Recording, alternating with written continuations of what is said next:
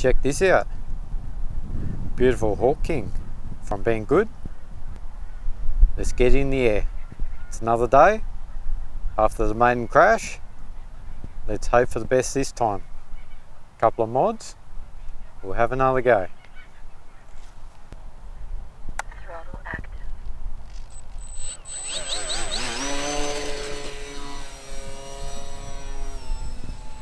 We're all over the place.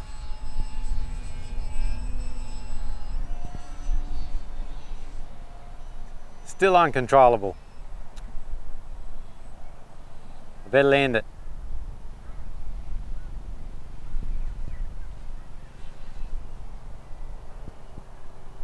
Try and land it. Oh. Have another go.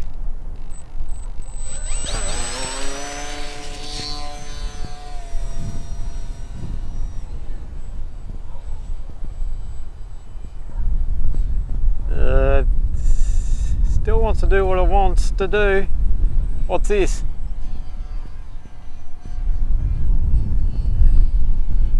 All over the place.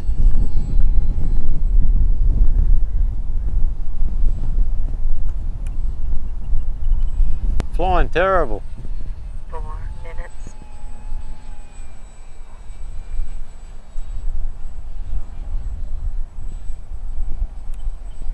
Trim maximum.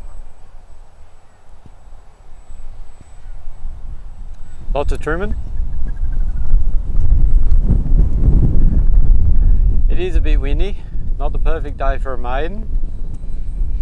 But we're going to try, don't we? It's flying. It is flying. Don't know if those bullwinkle joints are uh, helping the situation. But it's flying. With lots of nose weight about 110 grams of nose weight. That's a lot. That's flying. Oh, it does what it wants.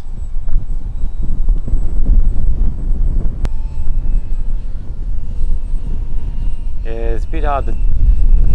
We need to adjust the clevises, I think, because we're out of travel with our trimming. We'll come in for landing.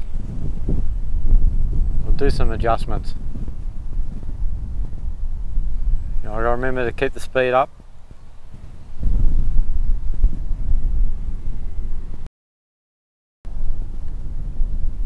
Oh, nice landing. We'll have another go after we've done a couple of adjustments. Look at these bullwinkel joints move. Hope for the best.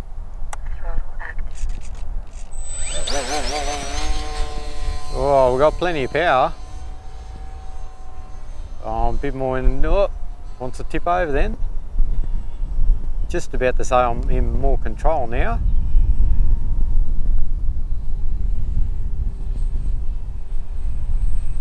Where we're flying, uh, a little bit of trimming.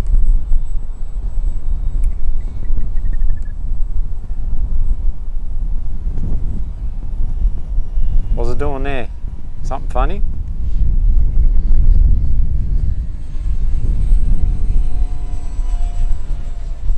Whoa!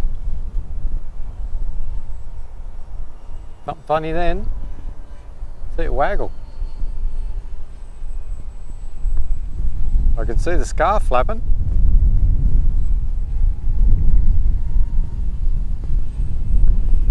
Four minutes. Bit of trimming. You want to get this flying nice, even if it is windy.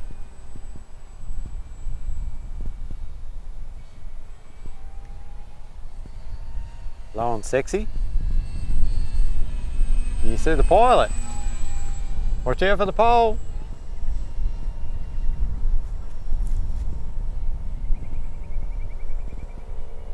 Around the pole.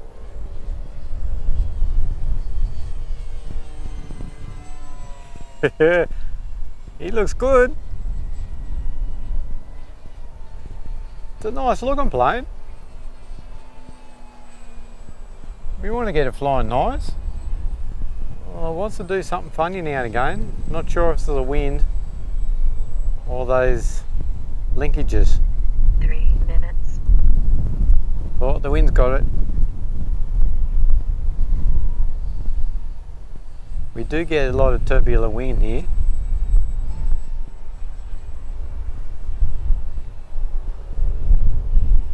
A lot of nose weight. 110 grams. Strapped underneath it. It's a lot of weight for a little plane. But it is a scout. Captain Mupp has tried to build the scout in the past out of that foam board. And let me tell you, it never flew. He tried, it never flew. Never flew as good as this. Did it, Captain Muppet? Look at this beautiful bird. Two minutes.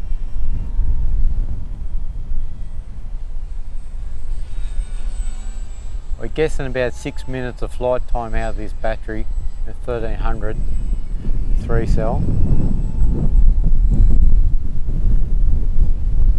Well, it's flying pretty good in this wind, I guess.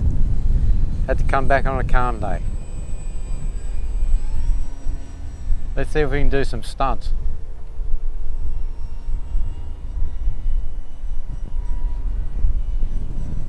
Dropping like a stone. Turn around and go into the wind.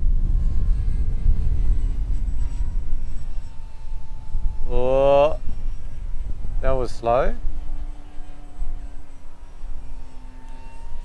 Look at that. Not too bad. I like the yellow in the sky. One minute. We'll go up.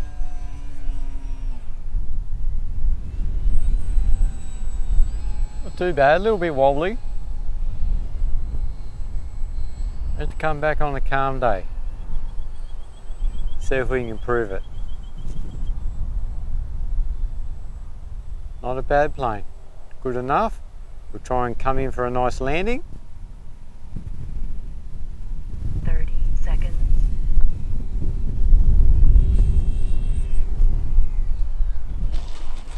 Oh, pretty good. Not too bad. Back from the field after flying this beautiful chicken hawk. We got it flying. We're so happy. We do like the look of it. So first I'll tell you about the maiden crash. I was guessing it was too tail heavy, as it was. Didn't do much damage. Try and show you underneath there. I did crinkle that tail a little bit, bend a little bit. What I've done, I've stuck a skewer right up the guts of it till about there and that's really strong now. Really strong. Held up pretty good. I'm impressed. Didn't do too much damage. I was a bit worried. Turn it around here for you. I've reinforced the tail here because I was worried about that being loose. Just with some servo rods that you pick up from anywhere they were 200 mil rods. They've just cut a little bit off. And I pulled this apart because this rod here was already assembled on there and it was actually bowing the elevator. It had that much pressure on it. So I've straightened it out. So it's got, you know, no pressure on it now. And probably less strain on the servo now, you know. Even though I didn't even test out the rudder in the flight. It didn't need any rudder. Definitely got a lot of weight in the rear. It's got all these rods going on and, and the servo. It's all extra weight, double rudders. So let's talk about the CG and how I got the measurement. There's no directions. So I just measured the wing and then divided by 3 and I got 55 millimeters. and it ended up that my battery it was balanced. Dead level at 55 millimeters so I thought I'd go with that. But as you've seen it was terrible. It was way out wasn't it? I put lots of weight under here just temporary. 110 grams all up. Strapped to the bottom of the wheels there. But now the CG that I've got is 45 millimeters. I did actually mark it at 50. I was going to go with 50, but I didn't. Thought I, it should be pretty close, but no. So CG needed to be at 45 millimeters. And that could even be a little bit nose down. You know, that is just a little bit nose down. So I was at least 10 millimeters wrong I was in the main flight. As you've seen in the video, a couple adjustments in between the flights and we got it flying good. Didn't take too long. It's a beautiful bird. We're very happy with it. And the battery weight, energy pack here, is 141 grams. So it is a heavy pack and it fits in there beautiful.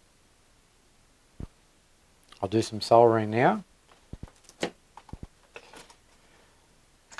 Get rid of that connector and I'll solder on the XT60 properly. This is the plug and play version, come with the motor and there you see of course the servo is already pre-installed had plenty of power. Nice Emax motor. It was definitely powerful enough for this type of plane. I was happy with it. It'll be interesting to see how long these linkages last for in the servos. You know, after a few flights, um, there may not be any issues, but we'll wait and see. The wheels are definitely big enough. That was fine. I was shocked. It was fine on the grass. A little bit longer grass. May need a bigger wheel. I didn't hear the prop tip hit the grass a couple of times in takeoff. So a little bit bigger wheel would be better. And the pilot was very happy. Very happy this time. He doesn't like crashing. The beautiful chicken hawk will fly again. Thanks for watching.